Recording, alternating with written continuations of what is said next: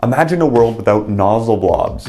A world where you can start a 3D print and just walk away without having to worry about coming back to a huge mess. If you're serious about 3D printing, you've probably had a nozzle blob before, and you know that they're a real pain to deal with. Usually, it goes something like this. Oh no, it's a disaster! It's another nozzle blob. Ah, my 3D print is ruined, my hot end's a complete mess. I'm gonna have to take all of this apart, clean it up, and I might have to just replace everything.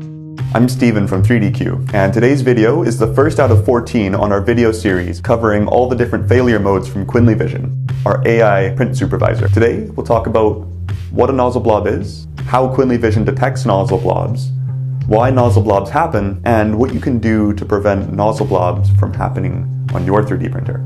So what are nozzle blobs? Nozzle blobs are a type of 3D printing fail where molten plastic forms a huge glob around the nozzle. And these are super annoying. When nozzle blobs happen, it usually takes a long time to clean up, and you might have to replace some parts on your hot end because nozzle blobs tend to damage components.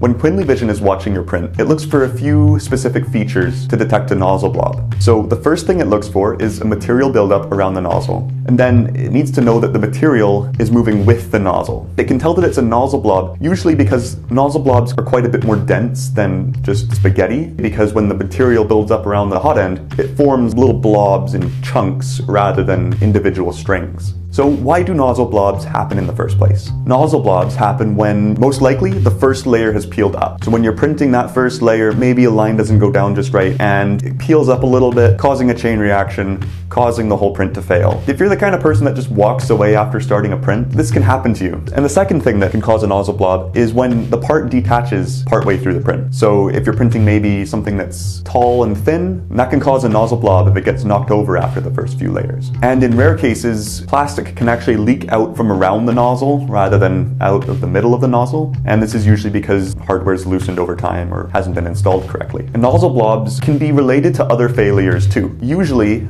a first layer that doesn't go down so well happens before a nozzle blob. So QuinlyVision would actually prevent nozzle blobs from happening in the first place because QuinlyVision has a built-in feature specifically looking at bad first layers. And this is important for automated 3D printing because you won't always be able to watch that first layer go down if you're running a continuous 3D printer that can start prints all by itself. Another failure that usually accompanies nozzle blobs is plain old spaghetti. So sometimes you'll get some spaghetti floating around on the build plate that eventually attaches itself to the nozzle and then forms a nozzle blob from there. So you'll, you'll usually see spaghetti and nozzle blob in the same print. So what can you do to prevent nozzle blobs from happening in the first place? Well, the best thing you can do is to make sure that your first layer goes down perfectly. And to do that, you just need to have really good first layer settings. So I recommend printing a first layer really hot, printing it really slow, and printing it with a really thick line width and layer height so that the plastic takes actually quite a while to cool down. And that helps it stick very well to the build plate. The next thing you can do is to make sure you have really good bed adhesion. So if you're using a Quinly printer and you have a VAAPR bed, you need to make sure that the bed is the appropriate temperature for the material that you're using. And also the first layer nozzle temperature is quite important, so you want to make sure that that's hot enough for the material to get really melted so it sticks very well. You also want to make sure that the bed is clean and free from dust and oils. Finally, you're going to want to check your nozzle and hot end assembly every once in a while just to make sure that everything's tight and that you're not leaking filament because that can sometimes cause a nozzle blob too. Of course, if you want to be able to catch nozzle blobs before they happen, you might want to try QuinlyVision. And if that sounds interesting to you, you should try our demo. It's linked in the description. And that's all for today. Remember to drop a like and subscribe if you haven't already. And also, if you have a friend who tends to get a lot of nozzle blobs, send them this video. I think they'll appreciate it. I'm Steven, product lead at 3DQue. Thanks for watching. I'll see you in the next one.